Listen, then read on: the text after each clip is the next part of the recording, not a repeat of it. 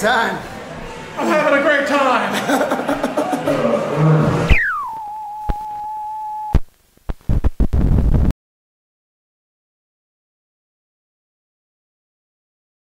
if you want a picture of the future, imagine a boot stamping on a human face forever.